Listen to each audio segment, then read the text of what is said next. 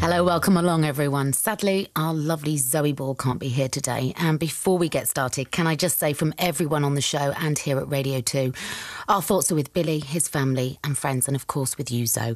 We are sending you the biggest of hugs. So this afternoon, you have me, Kate Thornton. I'll explain what's on the show after this.